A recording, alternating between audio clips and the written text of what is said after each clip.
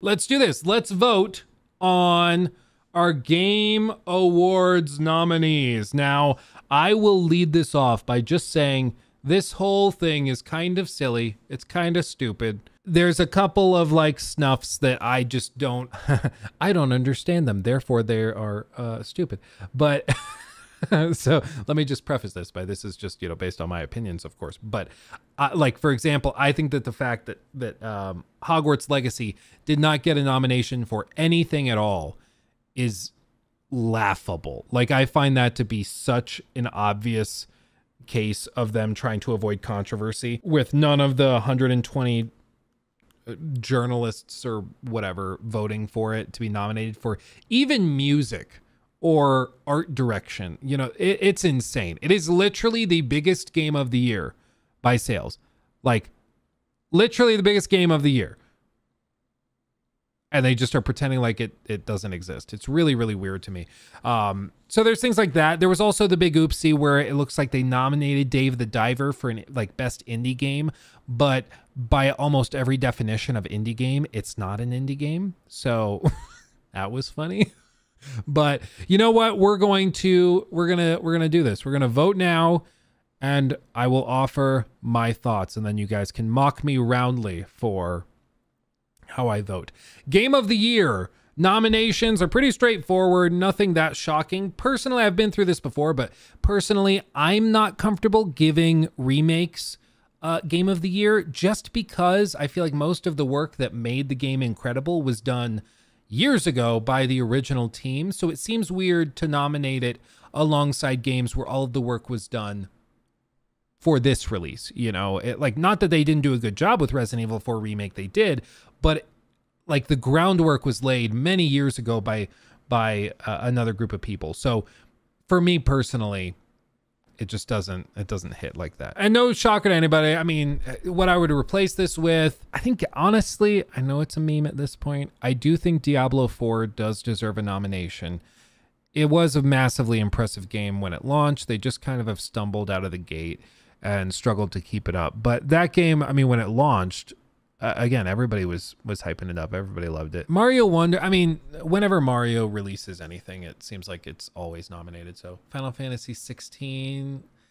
Yeah, I, I think Final Fantasy 16 is really good. It could replace Resi 4 from what I've seen. Um, honestly, like I would probably throw out a nomination to Lies of P. I would toss them something because that was such a cool game that lived up to the hype in so many ways. So I'd probably toss them a nomination.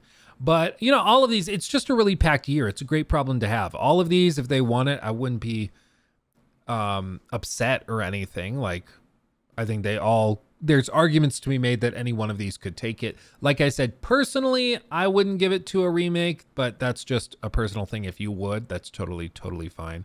Um, it's just something that makes me kind of twinge a little bit to give it to a remake. But for me, far and away the most impressive game this year is Baldur's Gate 3. Also, a big surprise for a lot of people. They started the year not knowing they would be into it, and it's ended up being their favorite game of the year. And I think that counts for something. Whereas, like, Tears of the Kingdom was great, nobody expected it to be anything other than amazing, you know? So I am going to go Baldur's Gate 3 for Game of the Year. Best Game Direction.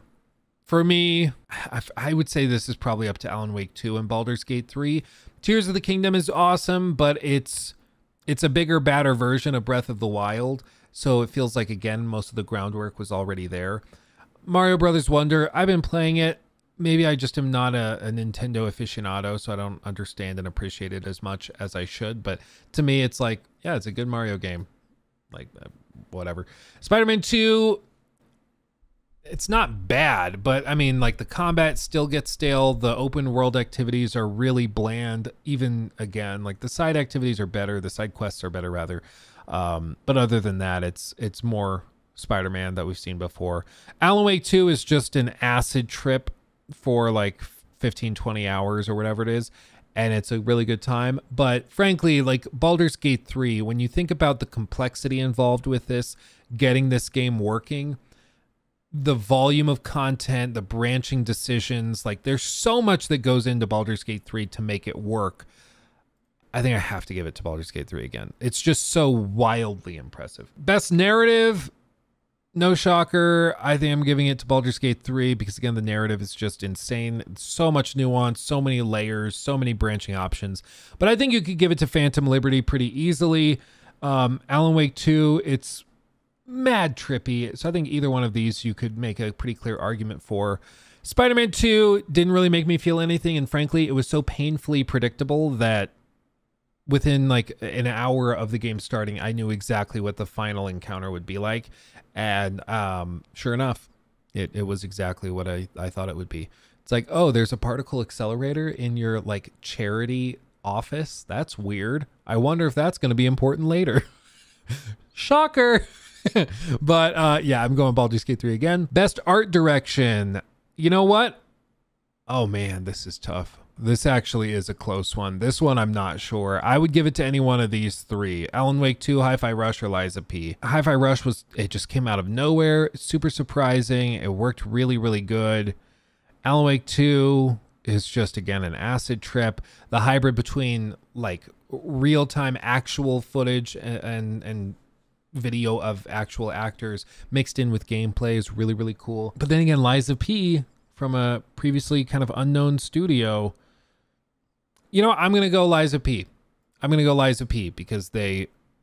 I want more games like this. I think they deserve some reward for the incredible work and coming from a relatively unknown studio. I think that deserves some credit too. Best score and music. This is an actual toss up. This one's really, really tough. I think I'm going to give it to Hi Fi Rush just because music is the game and it works so freaking well. But literally any one of these could win it. And I would be like, yep, sounds right. So I wouldn't throw a fit if any of those won. Best audio design. I'm honestly not sure. I'm between Alan Wake 2 and Resident Evil 4 because they both had amazing sound. I think I'm going to go Alan Wake 2 because they also had music balanced in perfectly. That thing, for those of you that played it, you know, like four or five hours in, that crazy thing happens. You guys know what I'm talking about. It's amazing. It's fantastic. I love it. Um, best performance. Ben Starr, Final Fantasy 16, Cameron Monaghan, Star Wars Jedi Survivor, Idris Elba, Phantom Liberty, Melanie Liburd from Alan Wake 2, Neil Newborn or Newbin from Baldur's Gate 3, or Yuri Lowenthal, Marvel Spider-Man 2.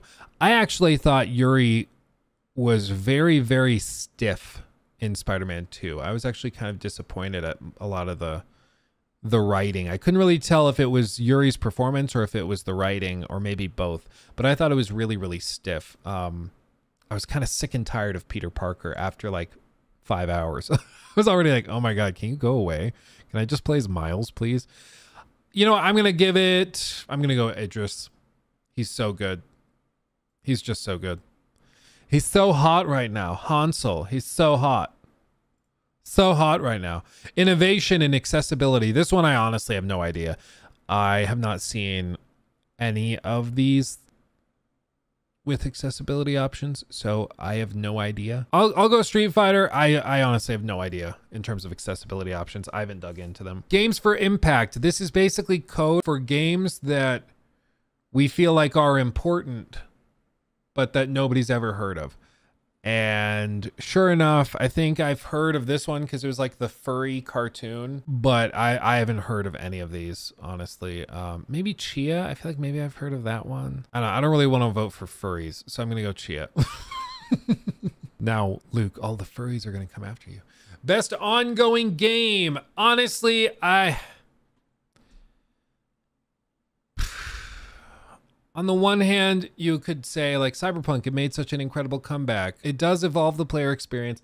But on the other hand, like let's just be real, Fortnite did the OG thing. They had 44 million players in a single day. Like 44 million players 6 years after launch. Like I feel like that has to count for something. I know it's Fortnite lol cringe, but like Jesus Christ, that's wildly impressive. But you know what? Then again, they are making billions of dollars. So of course they're going to keep doing.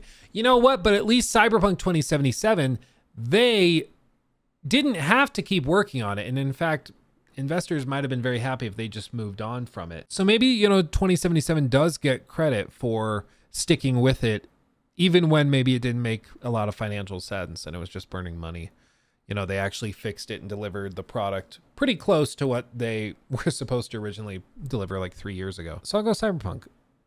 We'll toss we'll toss that to them. Best community support. This is the funny thing. So when this was uh, announced that Destiny 2 was nominated for this, they literally fired the entire community support staff. like the whole team was fired, which is why it's so freaking funny that, you know, they they uh were nominated for this cuz it's like but they don't even have that department anymore. But okay. As for community support, I mean, I think I'm going to go Baldur's Gate 3 because with early access and all the feedback and tweaks they've made over the years, I think that deserves some some shout outs. What else we got? Best independent game.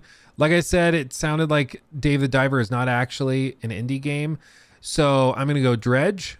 Love me some Dredge. Best debut indie game, Dredge. Best mobile game. There's no WWE champions? What? Phil is gonna be livid. Oh no. I'm gonna go Hello Kitty uh, Adventure Island. I don't I don't know any of those, but it's Hello Kitty, so I have to. AR VR game. Uh, I'm gonna go Resi Village. Now we're getting to the easy ones. Best action game. Ooh, baby. Ghost Runner Hi-Fi Rush Remnant 2. I'm gonna go Armored Core. It's very good. Action adventure game. You're going to call Alan Wake 2 an action adventure? Like it's an action thriller. It's not really an adventure game.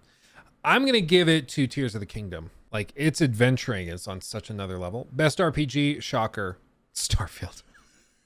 Shocker, yeah. what? Luke gave it what? Uh, Baldur's Gate 3. That's no surprise there. Best fighting game, probably Street Fighter 6. I've heard th- that Street Fighter 6 is probably altogether a better game than the others.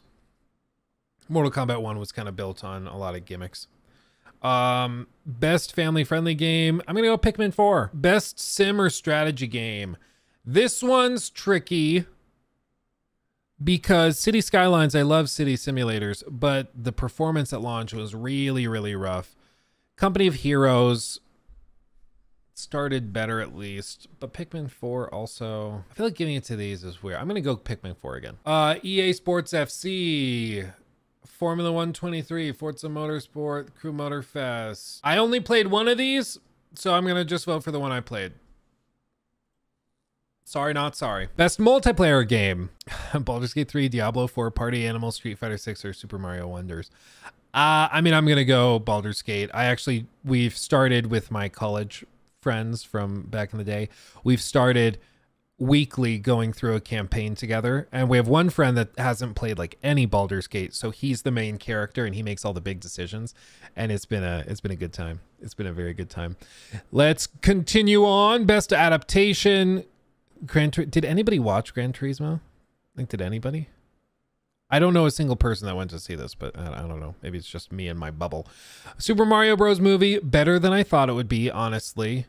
Princess Peach at the end of the line. It's so good, dude. I love that movie. But Last of Us, I have to give it to The Last of Us. I was very skeptic boy of The Last of Us, but man, they did a great job with it. And Pedro, ooh baby. Most anticipated game: Final Fantasy VII Rebirth, Hades 2, Like a Dragon, Infinite Wealth, Tekken 8, or Star Wars Outlaws. Um, yeah, this is purely because GTA 6 was not officially announced before this. Otherwise, this wouldn't even be close. But I'm going to go Star Wars Outlaws. That's what I'm very much looking forward to. Content Creator of the Year. People make games. I've heard of them, and they make good documentaries if they are who I think they are. All of these others, Iron Mouse, no clue who that is. Quackity, no clue. Spreen, no idea. Uh, Cypher, I have heard of him. Oh, excuse you. Um, but I've never watched any of his stuff, so I'm gonna go people make games. Best esports game: Counter Strike 2, Dota 2, League of Legends, PUBG Mobile, or Valorant. Eh, I like Valorant personally, but I don't know. I don't play competitively, so I have no idea. Esports athlete: Never heard of anyone. Okay, somebody in chat put a number between one and six. Anybody? Anybody in chat? One and six. Two. Number two gets the vote. I have no idea otherwise. uh, same thing. Best esports team. One and five. Somebody put a number between one and five. Starting now. Uh, first number I saw was six and then a one. Okay, one. I don't watch esports. Can you tell? I have, I have no idea who any of those people are. Esports Coach. Okay, again, between one and five starting now. I have to wait for chat to update. Seven is what I saw. Okay, five. I, I saw five. Okay. Okay, esports event starting now. One and five. I see a five from Leo. Okay. Keep voting. Safeguard. The is that all of it? That is all of it. You've reached the edge. 404 error. So that is everything. That is everything. Honestly, out of the nominees, I think they generally were pretty good. I, I didn't like disagree with anyone. Were you able to see Finley? No, he's just out of frame. But yeah, this is Finley. So overall, I think the nominations were fine.